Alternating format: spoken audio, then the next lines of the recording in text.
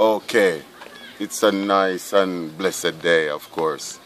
Um, I'm really pleased to be standing here today with Bishop Fagan. And of course, you know, I just want her to know how much, you know, I really appreciate her church, you know, coming in my community. And I see it as a development, definitely.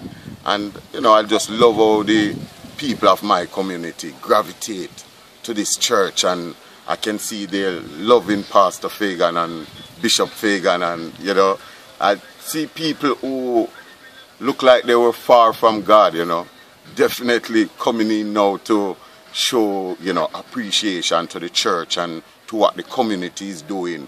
And what the community is doing now I could say thanks a whole lot to the Miracle Mission Church definitely.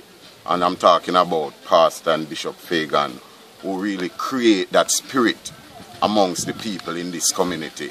And through that even make the people see it fit to create a police youth club of which we just started just the other day and I can tell you more things are in the making such as a neighborhood watch and with like um, the 1st of June coming up I must tell you that is an exciting event that everybody everybody is looking towards. You know, talking about Child's Month and cheating the children from Portmore and from Maypen.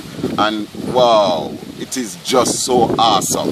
I'm talking about, you know, children in my area and so forth, hearing about it, looking forward to it. The police planning to come and speak to the people, Water Commission, JPS, and so forth. I'm so excited about it. So I must say thanks again to Pastor and Bishop Fagan for making Evans Meadow a choice.